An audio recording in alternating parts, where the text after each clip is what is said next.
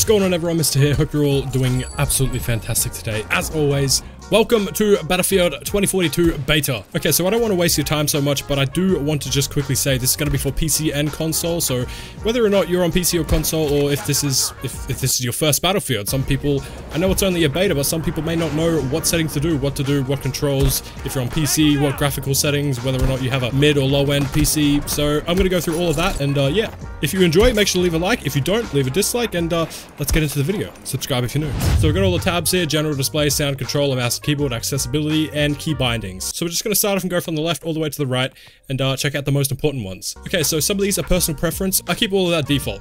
Now you have the crossplay, all that stuff, uh, hints for controls. Probably keep the hints for controls on if you don't know what you're doing. Uh, can be handy.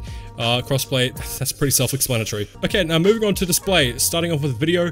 Uh, this part is mainly for PC, but there might be a few things in here, so if you are on console, feel free to tag along through these settings too.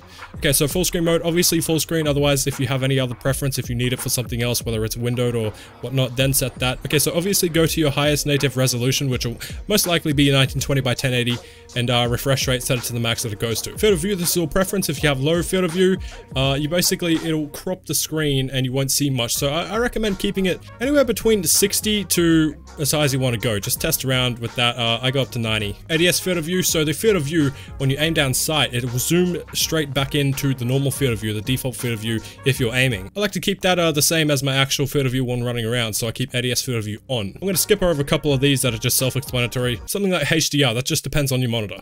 Motion blur. Motion blur, big one. Keep that off. Keep that off unless you just want a super immersive experience and you don't care about actually playing good. Turn off motion blur. Come on, man, let's turn it off. Chromatic aberration, film grain, vignette, and lens distortion. I turn all of those off. They're just distracting and, uh, that yeah, just turn them off. Just turn them off. They make the game look a little bit pretty, I guess, besides besides maybe the vignette. Now onto the graphics presets. This completely depends. If you have like top tier PC, don't worry about it. Just set it to whatever the hell you want, but I would recommend going slightly low on some of the things just so you get the best FPS possible. For me, I I have a good graphics card, but my, my CPU is a little bit on the low end. So I go to custom texture quality high because I like the textures nice, texture filtering, keep that medium, lighting quality low, effects quality medium, post-processing quality, I keep that low. Now Battlefield 4 and some other Battlefields, you would have to set mesh quality to ultra, otherwise it would just wouldn't render the meshes uh, at certain distances and stuff, and it's really hard to spot people and see them. But it seems to be working just fine for me on mesh quality high. Now terrain quality, undergrowth quality, I keep both on medium. Anti-aliasing, post-processing, TAA high, otherwise you can turn it down to low, but it, it, it might be a little bit jagged, that's okay, it's all up to you. And ambient occlusion, I just keep that off, it gives me like a 10 to 12 FPS boost, which is pretty good.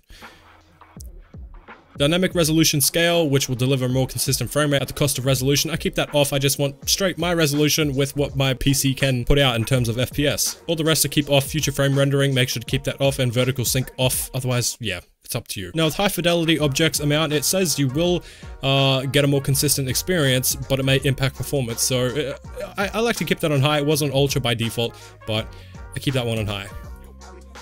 Now there's not too many options in terms of customizing the HUD and stuff like that. Like you cannot make the minimap bigger at the moment. Obviously going to add stuff like that in uh, with a full release. And everything still is subject to change as it is beta. HUD on obviously. Camera shake amount. I just turned that down a little bit. I don't mind the camera shake if there's explosions that let me know that it's it just lets me know that there's things going on around, okay? You got to be aware. Otherwise the rest here I keep default, but show kills made by, set that to nearby. This is just my preference, but if it's set to nearby, obviously it doesn't matter about using your own kills, but if you see kills on the kill cam, you know that it's happening around you.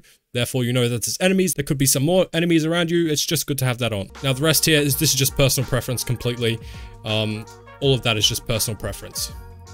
Now moving on to sound, I keep all of these the same except music volume. I turn that down just in case it ramps up a little bit during the end game or whatnot and it, it can get distracting. So I turn that down a little bit. But speaker configuration, you got audio mix. Keep that on 3D headphones if you do have 3D headphones. Otherwise headphones will do just fine. And I keep the hit indicator and all this stuff. I, I just keep the rest of that default. Voice chat completely up to you. Now, I play mouse and keyboard now, and I'm not as good as I was on controller, because I'm still kind of getting used to mouse and keyboard, but uh, but this is all the controller scheme uh, settings right here, so you can fiddle around with that. Now, mouse and keyboard, this is all default right here, but make sure mouse raw, raw import is on. Um, it should be on by default anyway.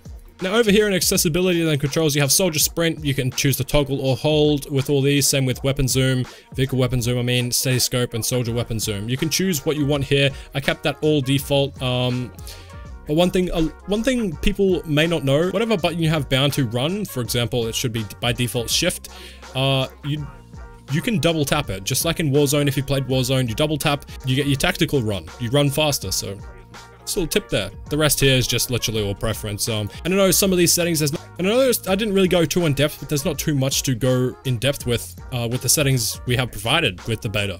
Um, but I just wanted to quickly do this with people who are maybe new or maybe a little bit confused or whatnot.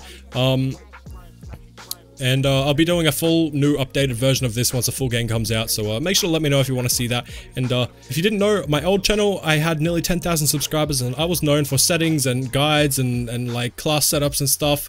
Um, so if you want to see class setups and stuff for weapons, make sure to let me know as well. And uh, yeah, hopefully this wasn't too long. Hopefully you're having a good day and uh, yeah, see you in the next video.